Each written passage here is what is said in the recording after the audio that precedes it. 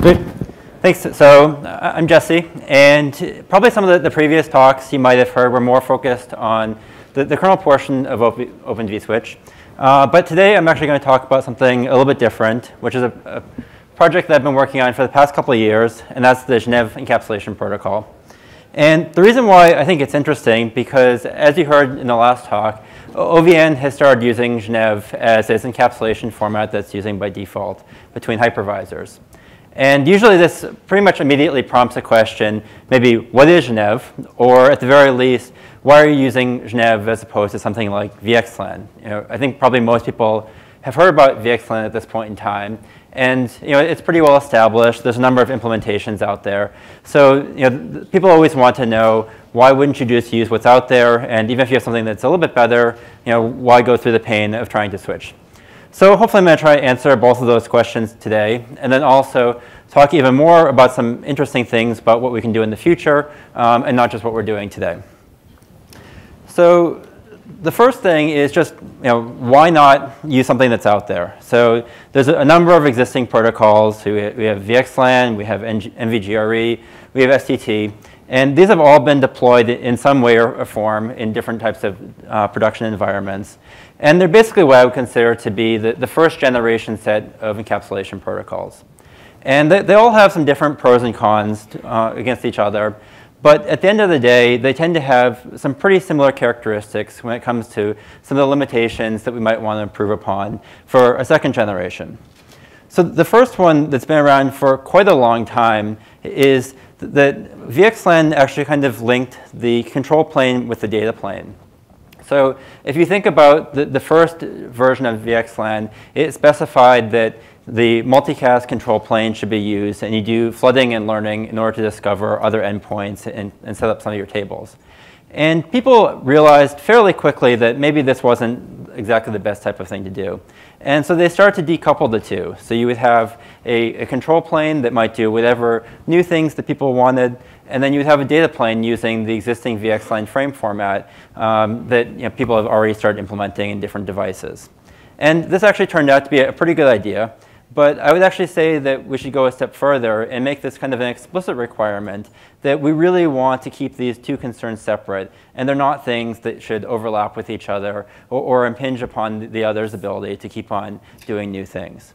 Now, obviously, this isn't something that requires a new encapsulation format. We've already worked around this in, in large part. But I, I, think it's important enough that I want to call it out as something that's important for uh, any new encapsulation format. should take that as a core principle. The more interesting part is actually around extensibility. So if you look at the, the amount of metadata, which is the important part of, of extensibility, that you have in, in VXLAN, that's really just the 24-bit VNI. In NVGRE, it's a 24-bit, again, TNI. And with STT, the situation's a little bit better, but you have 64 bits, and that's fundamentally just as limited um, and, and fixed as 24 bits is. Now, you might ask yourself, so what? You know, why do I care if I don't have more space than that? You can do some basic things. But the reality is, is that metadata is really the, the lifeblood of a network virtualization solution if you th think about where a 24-bit VNI came from, it's really just a VLAN tag, or, or, rather two VLAN tags that have been stacked upon each other. And that, that, the goal of that is mostly just for partitioning of the network. And that's an important thing to do but that's not all network virtualization is. If, if I want to build up a real network virtualization solution, I, I want to be rich. I, I, want to be able to have services that I had my underlay, and, and I, I, want them to provide security. I want them to provide telemetry, all kinds of things that are, is now my overlay. And I, I want to work very smoothly. And each one of these additional services requires some additional space. And so the more things that the more space you have, the more things you can do, and I don't want to be limited uh, by just encapsulation protocol. So I, mean, I think probably most of us agree that you know, it could be useful to have more space, but you know, what are some actual concrete examples of this? So you know, there's a couple of things that come to mind. One of them is something as simple as a checksum. So if you look at other protocols, you know, Ethernet, IP, TCP, all of these each have a checksum associated with the respective layer. But VXLAN does not. And you know, th there's a little bit of information that's important there today. But there's probably going to be even more if you buy into this philosophy that we need more metadata. And so you think, OK, sure, I, I could add a checksum. I can kind of wedge it into some of the reserve space in the VXLAN header.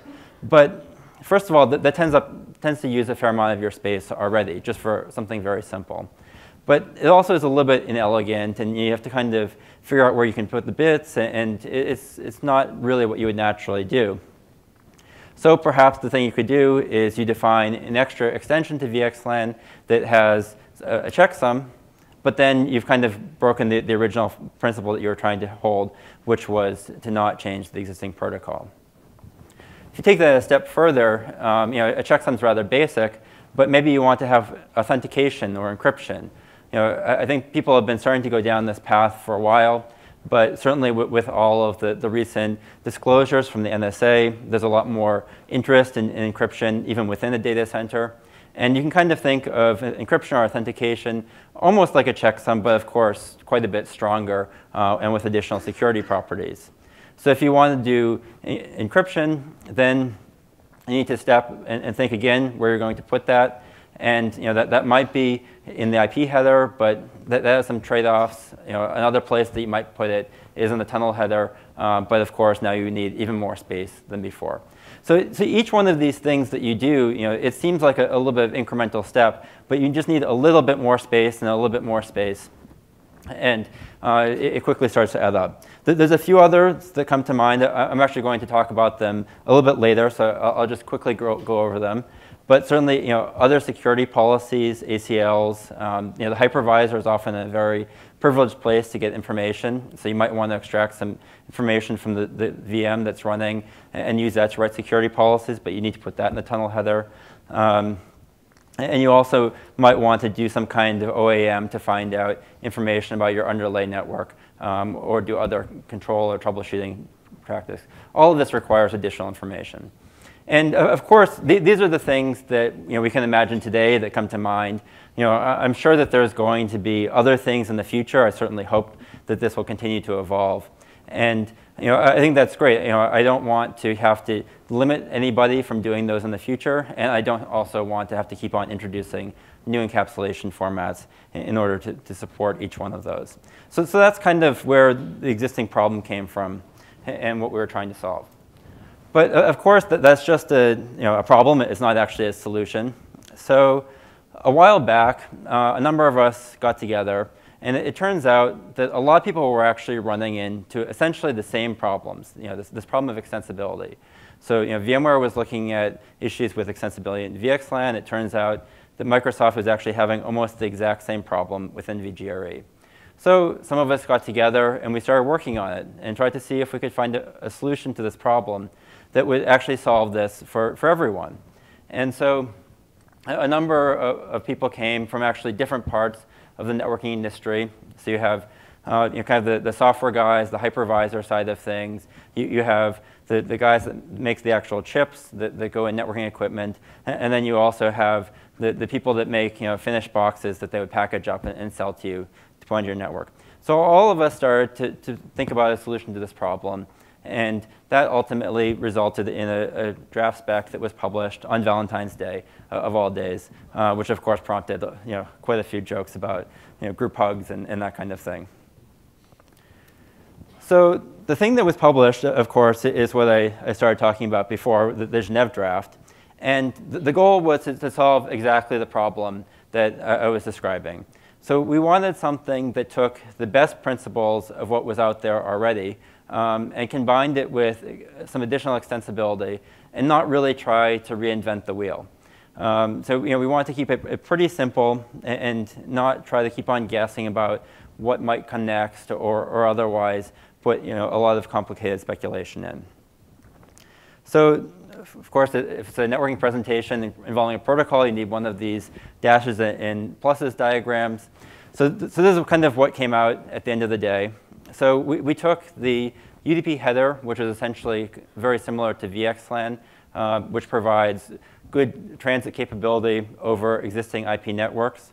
We added a, a base uh, small fixed header, um, which takes some of the properties of protocols like GRE, which has a, a next protocol field that's, say, missing in VXLAN. And then at the end, we added uh, a set of TLVs, which are, are type length value options. And th this is commonly used in a lot of different protocols uh, as the, the, best way to add extensibility in, in a way that, that's nearly limitless in, in what it can do um, as far as future capabilities. So each one of these is essentially kind of an incremental step from what was there already. Um, again, the, the, goal was not actually to try to revolutionize you know, protocol design or anything like that. The goal was really to keep it simple and, and something that is relatively clean and easy to use. And, and, you might think that having a lot of flexibility makes it actually more complicated, but that's actually not necessarily true because if you're concerned about needing to add a bit here or be very parsimonious with a bit there, then you really have to guess about what is going to happen in the future. And really, nobody is good at that. It, it never works out. Um, so if you instead focus on having a very rich extensibility mechanism, you can be confident in, in what you have and, and not worry um, about what might come in the future until you actually know what the future is. And at that point, you can define uh, an extension that will support that once it is fully understood. And you can do it in a way that doesn't require revising an entire protocol and revising all of the ecosystem of hardware and software support. And, and so this is something that I, I, think is really extremely powerful. So th that's all well and good, of course, to actually sit down and you know you can write a piece of paper, um, but it doesn't really get you much unless you have implementations. And this is something that that people tend to worry a, a lot about. Um, you know, even if it's the, the best spec in the world, you know, at the very least, it, it's going to take a while before you have implementations that can start using it.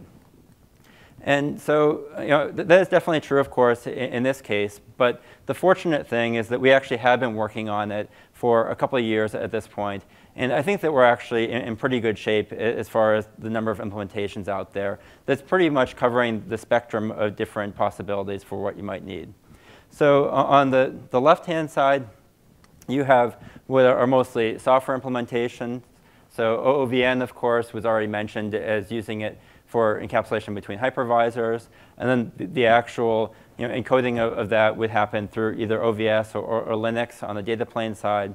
And perhaps just as important is having you know, tools to debug when, you, when something might goes wrong, such as you know, Wireshark or TCP dump. All of these tools that we normally would expect to use, all, all of that have support for Genève right out of the box, so things just work. On the other hand, you have hardware implementations. And this is what people tend to get a little bit more worried about just because it takes a bit of time in, in order for hardware to be developed and then deployed in, in the data center. And so here we have basically two categories. We have both the, the network card side, which you might install in a hypervisor or other type of server. And then you also have a switching ASIC that might show up in a top of rack switch. And in both of these sets of things, we have, uh, I would say, a pretty representative set of implementations uh, from, from various major manufacturers. And, and, so I'm happy to feel, to say that, you know, I think we've kind of turned the corner as far as implementations. And it's something that you can reasonably expect to go out and use in, the short term and, have uh, good support. Of course, so, so all, all, of these are, are you know, public. This isn't uh, you know, kind of any secret information. So you know, if you're interested in, in, hearing more, then I would certainly encourage you to go and, and just uh, you know, look them up or, or talk to any vendors that you might currently work with.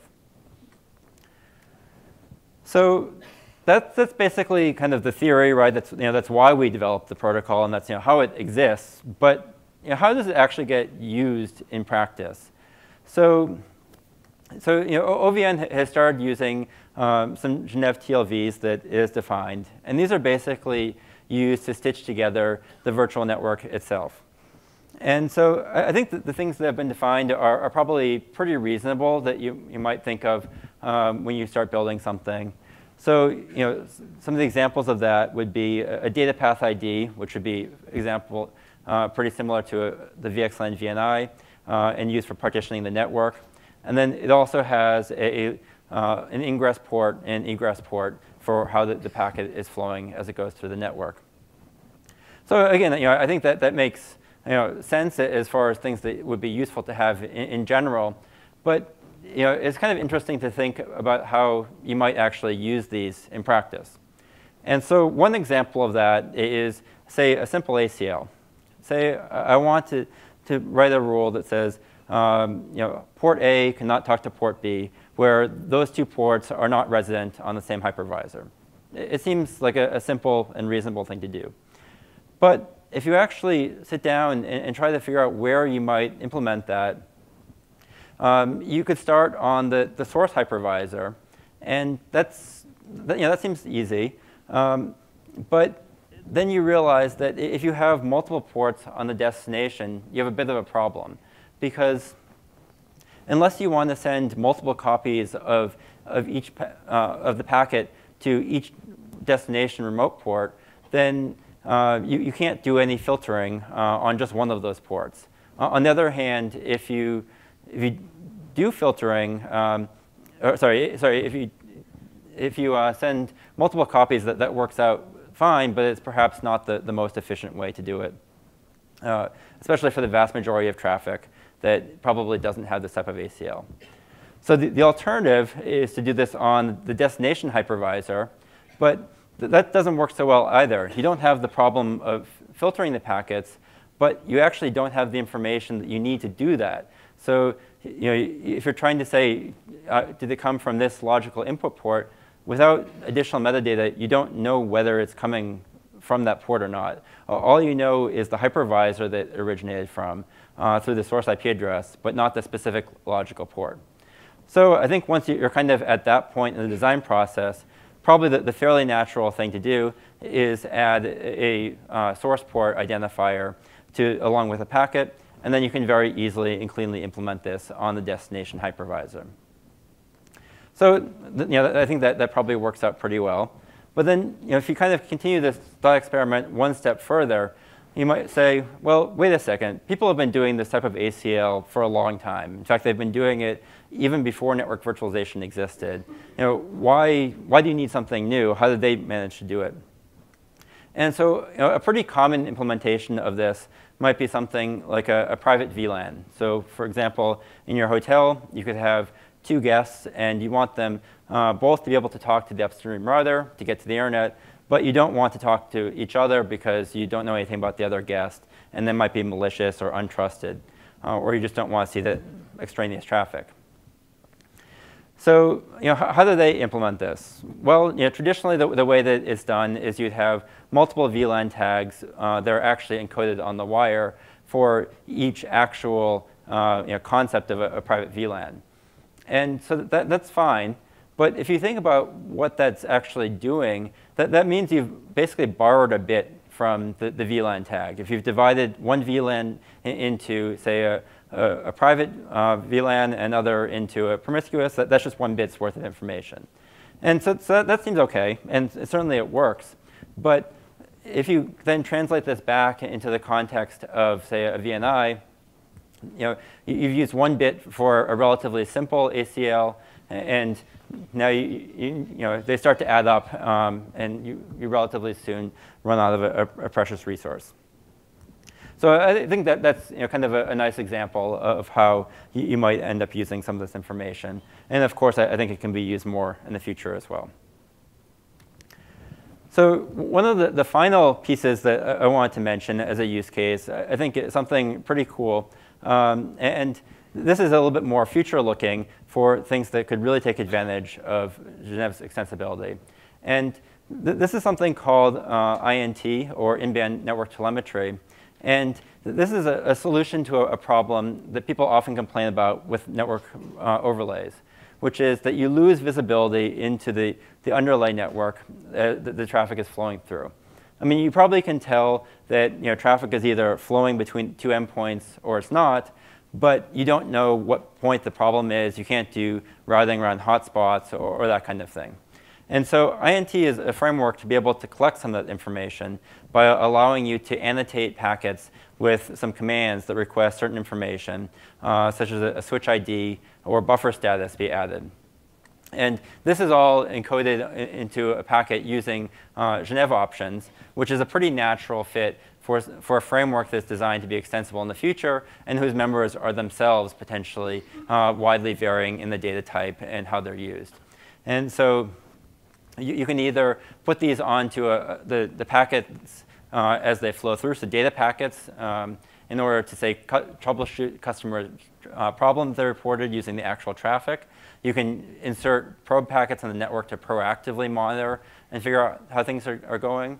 Um, and you can even do this in a, not for just diagnosing failures, but using it uh, as part of a control loop in your, your, virtualization system. For example, if you detect congestion at a, a, certain point in the network, you can alter some of the parameters that, that would cause the routing behavior um, to, to cause it to, to load balance a little bit more efficiently.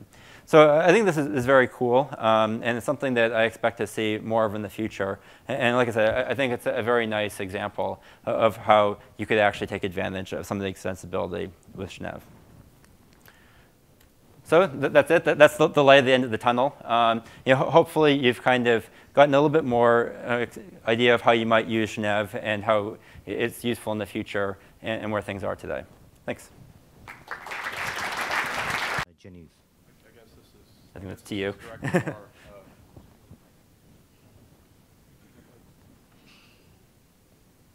guess this is directed uh, a, a, little more to me. Uh, so uh, our, uh, our, our, main, uh, our main encapsulation type, uh, we, we plan to be uh, uh Genève. Uh, currently, to talk to, to top of rack switches, we, we need to use VXLAN because the, the only well-defined protocol for doing that is, is VXLAN at the moment.